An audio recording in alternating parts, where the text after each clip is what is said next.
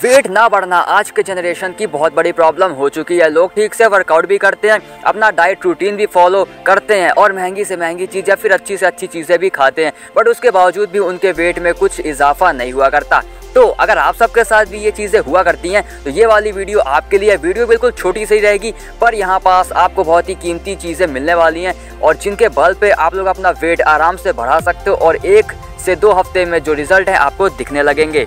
कीमती चीज़ें मैं आपको बताने वाला हूँ। उनको जानने से पहले एक चीज़ का ध्यान रखिएगा कि आपको वज़न बढ़ाने के लिए ज़्यादा खाना पड़ेगा, क्योंकि अगर आप ज़्यादा नहीं खाते हैं तो आपकी बॉडी में जो एनर्जी रहेगी, वो धीरे धीरे से कंज्यूम होने लगेगी और जिसकी वजह से आपका वेट घट भी सकता है। तो चलिए अब आपको मैं बताता हूँ जो भी खास चीज़ें हैं और आपको किस चीज़ को कैसे लेना और आपका क्या क्या वर्कआउट रहेगा और आपका फुल डे रूटीन क्या और कैसे रहेगा? वेट बढ़ाने में कैलोरीज का बहुत ही बड़ा रोल हुआ करता है और अगर आप लोग ज़्यादा मात्रा में कैलोरीज नहीं लिया करते तो फिर ऐसे में आपका वेट नहीं बढ़ेगा। इसीलिए आपको ज़्यादा मात्रा में कैलोरी लेनी है और उसको लंबे वक्त तक एक ज़्यादा मात्रा में लेते रहना है। और कैलोरी की जो मात्रा रहा करती है, वो इंसान के हाइट वेट जेंडर और उसकी फ़िज़िकल एक्टिविटी पे बेस्ड रहेगी। लेकिन एक इंसान तीन से पाँच सौ ग्राम कैलोरी पर डे ले सकता है और एक हफ़्ते में साढ़े चार सौ से पाँच सौ ग्राम उसका वेट बढ़ सकता है। बट कभी कभी ऐसा भी हो सकता है कि आपके वेट इंक्रीज में थोड़ा सा टाइम लग जाए तो आपको सिर्फ़ पेशेंस रखना है और जो रूटीन आपका रहेगा, उससे आप लोग फॉलो भी करते रहना।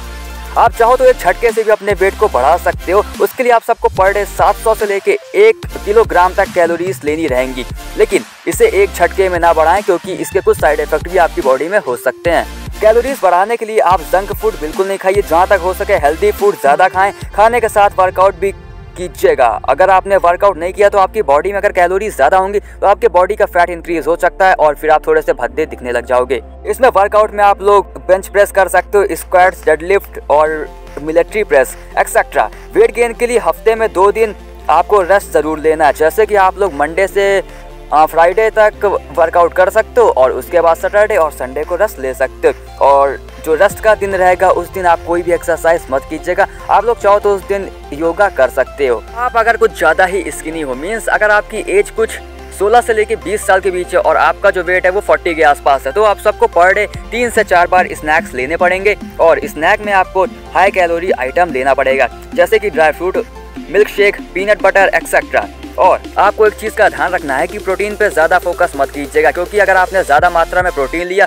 तो प्रोटीन को पचने में थोड़ी ज़्यादा टाइम लग जाता है। और अगर वक्त लगेगा तो फिर आपको ज़्यादा भूख नहीं लगेगी। और अगर आपको ज़्यादा भूख नहीं लगेगी तो फिर आप ज़्यादा नहीं खा पाओगे। ऐसे में कैलोरीज की जो मात्रा आपकी बॉडी में, वो अच्छे अमाउंट में नहीं जा पाएगी।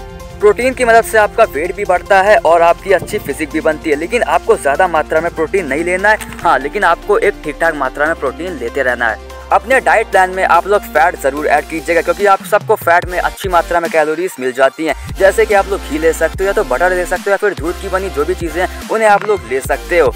और जो सबसे विशेष चीज़ आ करती है आपको उसका ध्यान रखना है कि आपको खाना खाने से पहले पानी नहीं पीना क्योंकि अगर आप खाना खाने से पहले पानी पीते हो तो आपकी भूख थोड़ी सी कम हो जाती है। और एक और चीज़ का, आपकी खाने की प्लेट में क्या क्या होना चाहिए? चलिए, वो भी मैं आप सबको बता देता हूँ। तो सबसे पहले आपकी खाने की प्लेट में आना चाहिए कार्बोहाइड्रेट उसके बाद प्रोटीन फिर वेजिटेबल और फिर उसके बाद सैलड और आप अपनी एक दो पसंदीदा चीज़ें भी रख सकते हो। पर एक चीज़ का आप सबको ध्यान रहा है इसका साइड इफ़ेक्ट आपकी बॉडी में नहीं होना चाहिए। हो सकता है कि आपको इसका रिज़ल्ट एक या फिर दो हफ़्ते में देखने को ना मिले तो ऐसे में इस डाइट प्लान को क्विट मत कीजिएगा। आप इसको अच्छे से फॉलो कीजिएगा। बहुत लोगों के साथ क्या हो सकता है, उनको एक दो महीने में भी इसके रिज़ल्ट आ सकते हैं। या फिर अगर आपको ज़्यादा ही स्किनी हो तो फिर आप सबको दो हफ़्ते, तीन हफ़्ते या फिर एक महीना भी लग सकता है। और कोई आपको दिक्कत आती है तो आप लोग कमेंट सेक्शन में हमसे पूछ सकते हो। और अगर डाइट चार्ट आपको बनवाना है तो फिर आप इंस्टा में मैसेज कीजिएगा। लिंक आप सबको डिस्क्रिप्शन में मिल जाए